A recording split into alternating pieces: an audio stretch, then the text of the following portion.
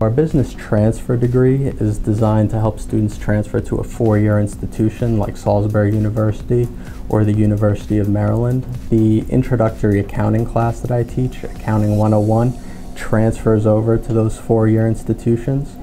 And if you're in the Business Management Associate's degree and you're looking to enter the workforce right away, it also prepares you for the kinds of work that you'll be doing if you decide to go directly into the workforce. On the Eastern Shore, obviously the hospitality industry takes in a lot of our graduates.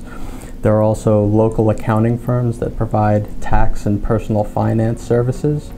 I've also been contacted by real estate firms and there are also government agencies in the area who also hire trained accountants. I always tell my students that it's important to have a career ambition or a particular industry that you're interested in and accounting is a great way to pursue that career ambition because it enables you to work in almost any career field because any business, any organization is going to need trained accountants.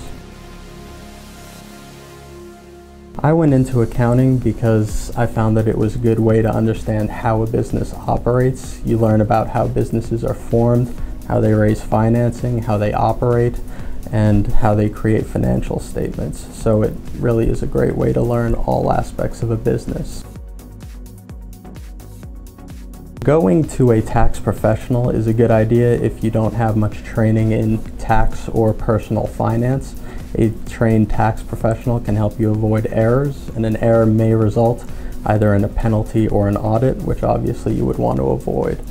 A tax professional also stays on top of new tax legislation, so they may be able to find you deductions and credits that you may not have been aware of.